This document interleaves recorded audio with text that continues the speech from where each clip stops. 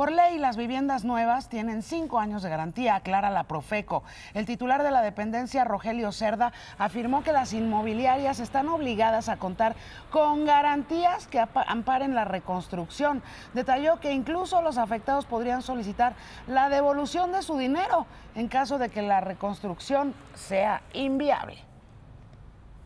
Imagen Noticias con Yuridia Sierra, lunes a viernes 2 pm. Participa en Imagen Televisión.